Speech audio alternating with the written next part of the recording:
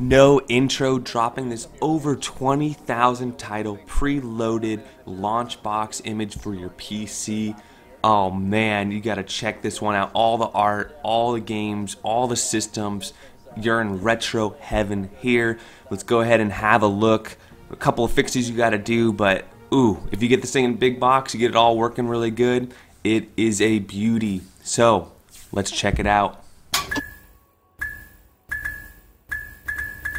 2794, 2794, GX 4025, Arcade Classics, 1414, including like Killer Instinct, uh, all one on ones, ice, so wrestling games, all the good stuff there. Atari 2600, 635, 5200, 70, 7800, 59, Jaguar. So for these you want to play some Tempest, 54.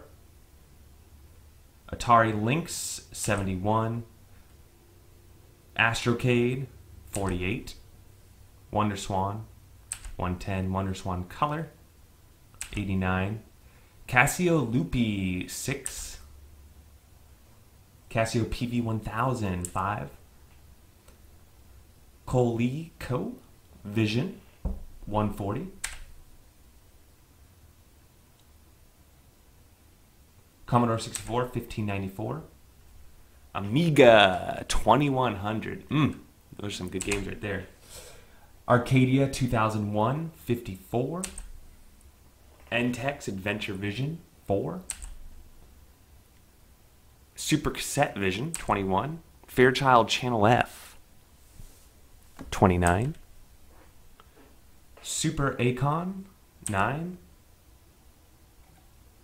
Vectrex 33, Game Master 12, Odyssey 2 71, Intellivision 141, MSX 1 598, MSX 2 153, PC Engine 159, SuperGrafx 5, Super Graphics 16 94, Nintendo 64 298, pretty much all of them.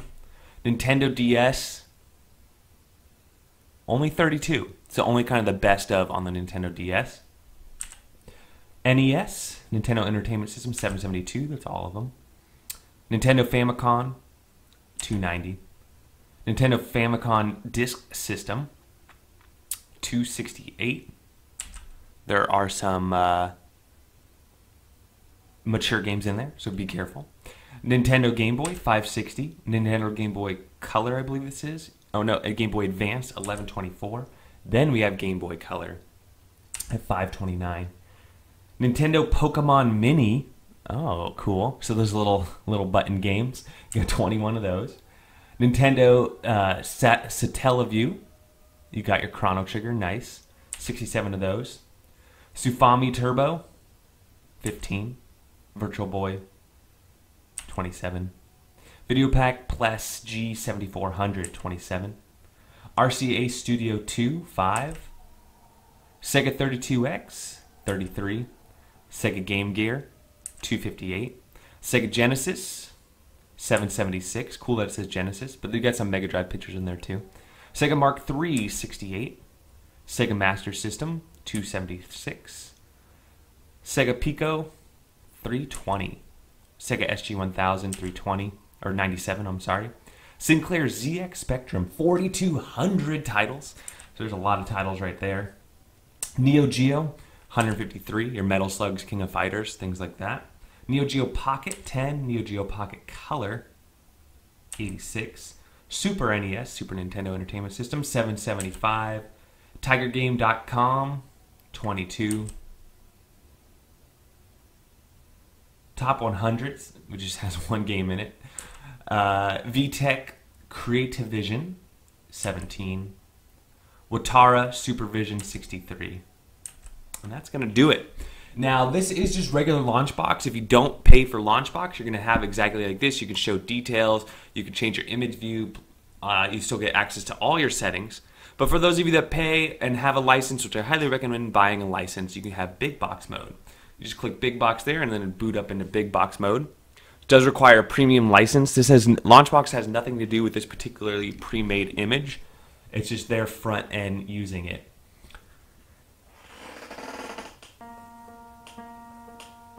If you are a fan, we don't have to tell you that video games are taking this country by storm. In 1980, Americans spent $3.3 billion playing video games. Some like a sport almost, parts of it. Coordination and developing patterns. It lets you release some of your tensions. And, you know, lets you think for a, for a minute that you're a pilot of a spaceship destroying aliens that are attacking the Earth. It's good just to sit down and not have to think for a while and just blow things up. This is a good way of taking out your aggressions without doing any harm.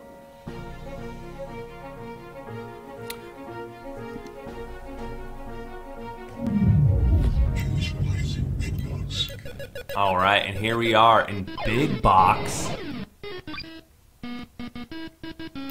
I mean, look at this thing. Now we have the hyperspin like setup. Jaguar, Lynx, Wonder Swan, Wonder Swan color. Let's go to a system that you guys probably want to check out. Amiga. So you got Amiga. You click in, and now you're in big box mode. You have all your titles here. Pretty cool. You can go to the next system over if you'd like.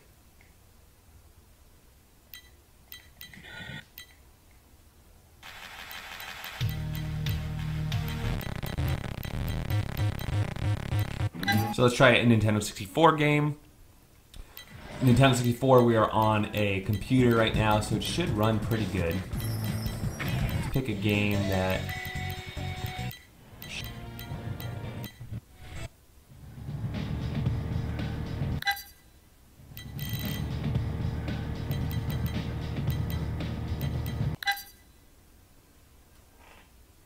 Loading.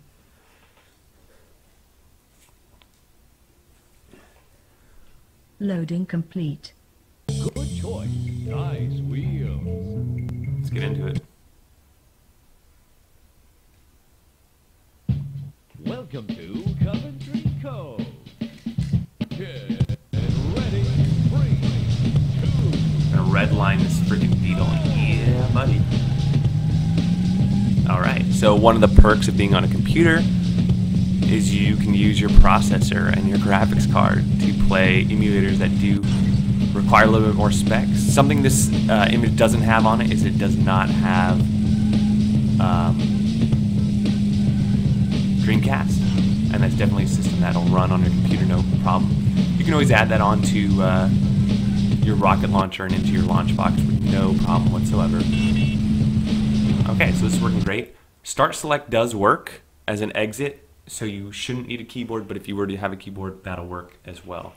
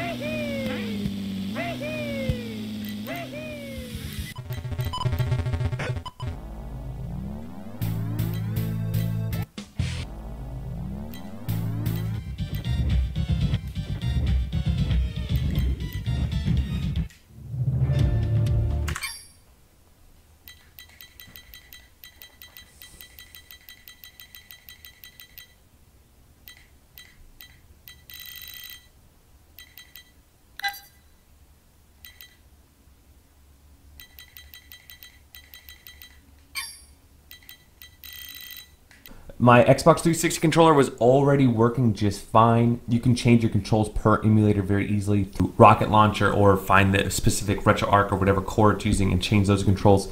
But mine are working just fine. No issues whatsoever. Loading.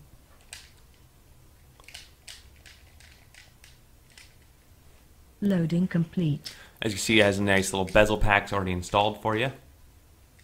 Oh.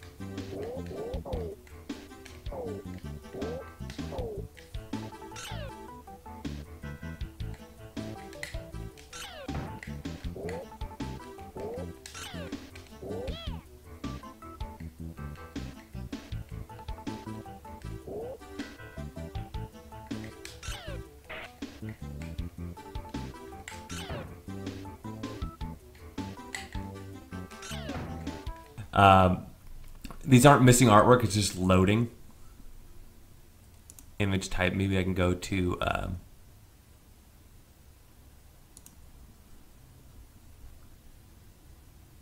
wow, and they have all the different images pre-installed 3D boxes. Nice boxes. You got boxes, 3D boxes, carts. Oh, they got the carts, 3D carts. Wow, screenshots, clear logos. Yep, they got them. Backgrounds. Okay, no backgrounds. And no banners. Okay, let's do logo just because I feel like that's probably the fastest loading out of all the different images. Atari 5200. I know a lot of you out there like it.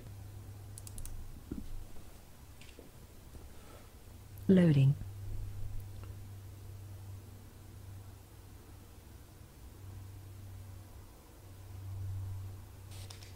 Loading complete.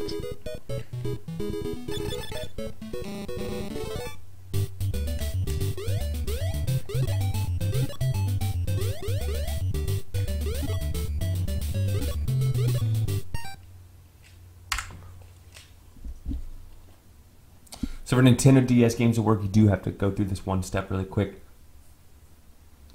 And we need to go down to Nintendo DS.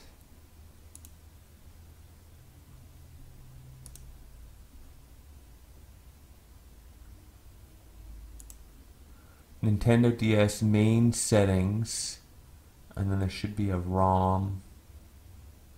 Skip checks, ROM only. And uh, here we are, back in Launchbox.